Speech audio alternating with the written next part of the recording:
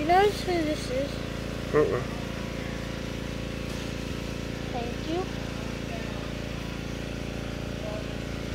Typical Ohio clean out. That was about two hours. Y'all remember, it's recreational here in Ohio. That is not a piece of gold. Unless it's, it's gold with that shit on it. I think it's a little piece of aluminum.